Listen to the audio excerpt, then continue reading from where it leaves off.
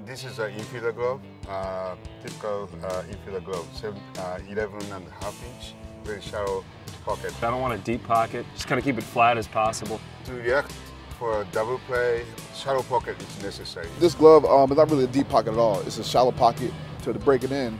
Um, I really don't do too much to it. Uh, I might turn it inside out, you know, to get that, that factor, get all the leather stretched out a little bit.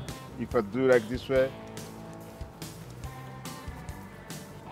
that means inside out, that means this laser will stretch. That's why it becomes softer function. Like a Brandon Phillips, move, uh, fly, out, fly out like this way very much. I like mine to be real flat on the sides, so when I can catch the ball on my backhand, it's easy for me to get um, make an easy transfer to my hand. Some player very tight this around. You know, some guys really um, curl the fingers out to, to almost almost looks like a fan. And then, you know, some of them curl it all the way in. I'd say I'm more in between. I like mine pretty wide. I like it pretty wide, but I like to keep the pocket not so deep. Uh, for, for second base, you know, I, I, if I let my pocket get too deep, the ball tends to get stuck in there. But I like to have a wide glove um, and with a smaller pocket. Tendency is to push hand deeper so that uh, you can feel better.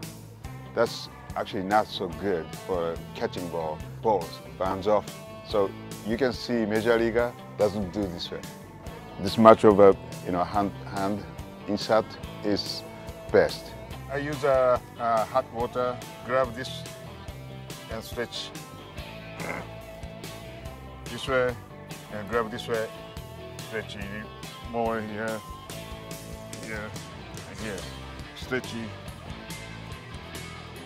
make floppy this way. Actually, important thing is this strap.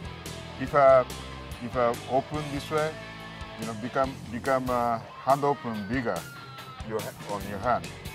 If I go this way, close this way, hand opening here is make smaller. You may have to close tighter here. I like to play with it as is and just break it in that way. And um, you know, uh, within about five days to a week, you know, uh, the glove's good to go. It's just a matter of playing with it, matter of feel for it, play catch the way that I would uh, normally. You know, go home tonight and throw the ball in there and, and, hold it exactly the way I would hold it in the game. You know.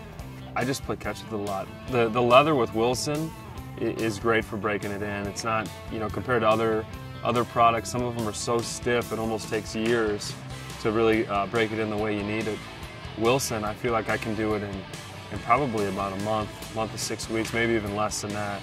Um, just by playing catch and it just molds to my hand. So that's that's one of the main reasons I like the product.